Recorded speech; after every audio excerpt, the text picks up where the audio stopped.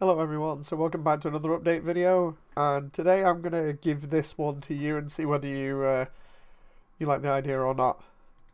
So, the idea is that I'm trying to get this to look a little bit like a PS1 game. I've been going over this idea for ages about trying to emulate PS1 graphics since I, I started doing 3D work.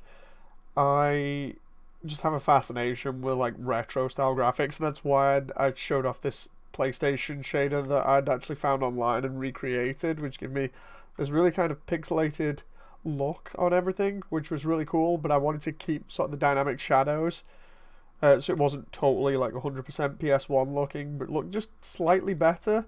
So we've got all these, you know, like dynamic shadows, dynamic lights, and everything, but it does look cool. But the thing that I'm going to go over today is the textures because I didn't know how to create the textures uh, for it that would look similar. So I tried something else with the flashlight and it looked kind of okay. So I decided to then go ahead and create some other stuff like assets to test it out again and see what they would look like. And here we've got like three sets of, well, three doors and each have different texture sizes on. The far one is as close to PS1 as you can get in terms of lower res, we we have the uh, the double doors. A single door on uh, Metal Gear Solid One is rendered lower, but the double doors for the elevators are, are rendered at I think it's 64 by 40. And those ones, because of uh, them being a little bit more square, are 64 by 64.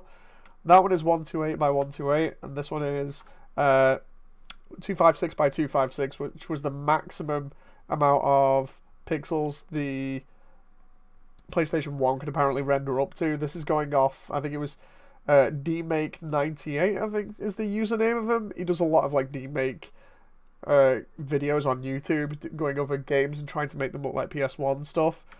But the only way we can really see the, the details of this is by using the flashlight. So as you can see, we can see a little bit there. On the middle one, the details slowly start to fade.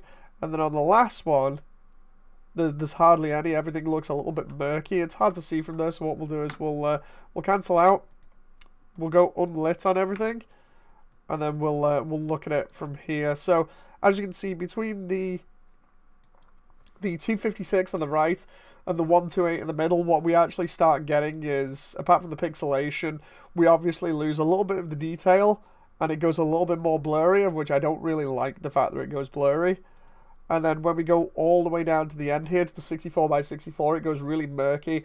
I don't know whether that's because Photoshop is messing around with it. I'll have to uh, see, because it's definitely not keeping the sharpness on the texture.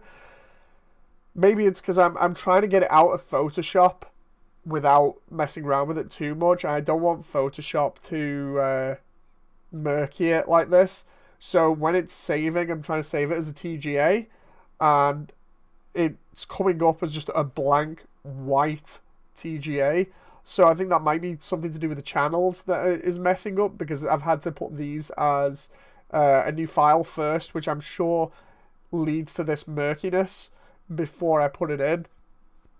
Like, there's got to be some way of keeping the uh, the the level of sharpness in this one, but bringing it lower down and giving me lower resolution instead of it being all blurred like this instead of like having to use the sharpen tool as well. Either way, what do you guys think about it? I'm I'm liking how this is going. This is this is more uh, research until I get the final look down.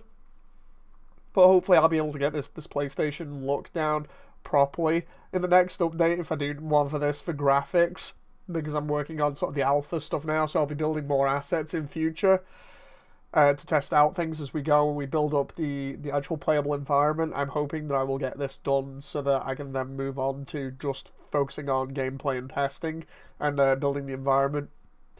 Anyway, what do you guys think? Leave a comment below and I'll see you next time. Bye!